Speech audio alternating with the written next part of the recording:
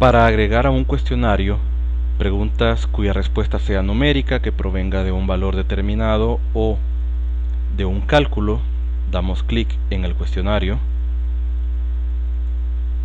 editar cuestionario, y en el listado de preguntas, que es como lo ve el docente, damos clic en agregar una nueva pregunta. Escogemos la opción de numérica y damos clic en agregar.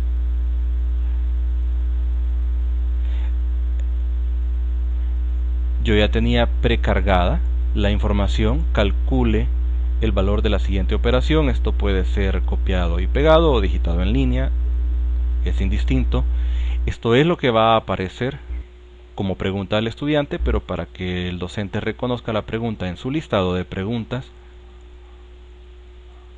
se escribe un título, división simple en este caso. Ahora yo puedo poner la respuesta de 10 entre 3, el valor sería 3,33. En este caso, módulo ocupa como separador de decimales la coma, no el punto. Por eso se incluye la aclaración en la pregunta a manera de indicación. La redacción queda libre para el criterio del docente. Y el margen de error, que tal si un estudiante me pone luego del cálculo 3,34 o 3,33333 entonces yo puedo poner un margen de error de 0, perdón, 0,1 y todos los valores que estén una décima arriba o abajo del 3,33 serían tomadas en cuenta. Si la tolerancia es muy alta, yo puedo reducirla poniendo un valor más bajo y calificarlo como el 100% correcta.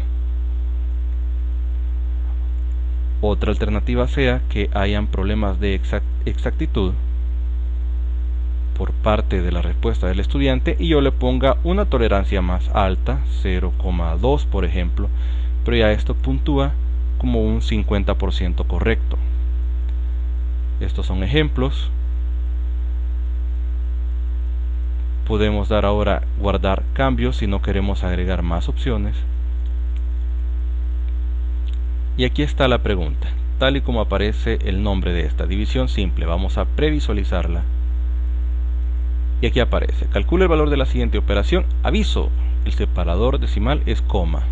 Y la respuesta es 3,33. Podemos decirle al estudiante cuántas posiciones decimales son requeridas a través de una indicación, pero esto realmente no es importante ya que con el valor de tolerancia podemos superar ese problema y agregando la cantidad de decimales que queramos simplemente se incrementa la precisión pero la exactitud de la respuesta se mantiene.